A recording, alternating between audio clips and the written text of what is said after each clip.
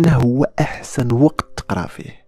هذا من بين أكثر الأسئلة اللي جاوني واللي داخلين في الجدول الزمني. كلشي كيسول على كيفاش يصاوب واحد الجدول الزمني للقرايه فهاد الفيديو هذا غادي نناقشوا في هذا الموضوع اللي تطرح عليا بزاف في الانستغرام. دونك غادي نهضروا عليه. اللي ما اشتركش في القناة يشترك فيها باش يبقى يوصلك هاد الفيديوهات. وهذا الفيديو برعاية عرض الجهوي. عرض الجهوي مفتوح دابا. إلا عندك الجهوي هذا العام أو لا عندك باك حر علمي وبغيتي توجد للجهوي هذا العرض غادي ينفعك بزاف. فيه المواد بربعه الاجتماعيات التربية الإسلامية العربية والفرنسية. المواد ديال الجهوي كاملة في هذا العرض. غادي نشرحوا الدروس كاملين في فيديوهات على طول السنة. تستافد من شرح الدروس وشرح الروايات والمنهجيات كذلك. سواء عندك sixième يعني ولا باك علمي أو لا عندك باك حر علمي غادي تستافد من هذا العرض. اللي يحب يتسجل في العرض ديالنا يتواصل مع هذا الرقم على الواتساب وغيجاوبك على طريقة التسجيل وكلشي. غنكون معاك على طول العام حتى النهار ديال الجهاوي.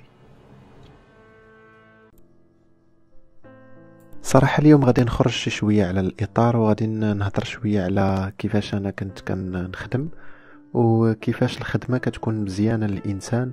يعني شنو الجدول الزمني اللي يقدر يدير. نفعت معايا بزاف واحد المعلومة اللي ما عقلتش فين قريتها بالضبط ولا فين سمعتها ولا شفتها ولكن نفعت. اللي هي أن الجهاز العصبي للإنسان كيرتاح ملي كيكون هو ناعس. وفي ديك اللحظة بالضبط في دوك يعني داك الراحة ديال الجهاز العصبي تما فين كيتخزنوا المعلومات. وأحسن وقيتة يستغل شي واحد إلا باغي يحفظ هي ما بين 8 ديال الليل حتى 11 ديال الليل. يعني ثلاثة السوايع اللي كتكون من 8 حتى 11 الليل. يعني من موراها تي تينعس الإنسان والجهاز العصبي ديالو كيخزن دوك المعلومات اللي خدا في ديك الوقيتة. بالنسبة للجدول الزمني أنا كنصح أن الناس تبازا على أربعة السوايع في النهار. أربعة السوايع ك يعني ك كمردودية حسب جميع المجالات ودراسات اللي دارت في هذا الموضوع هذا كتعطي واحد المفعول زوين من بعد واحد الوقيتة. من بعد واحد المدة ماشي ماشي طويلة غير قصيرة. أربعة السوايع في النهار كافية لأي امتحان في المغرب ولا في العالم. هاد المعلومة تقريبا من النهار عرفتها وأنا خدام بها.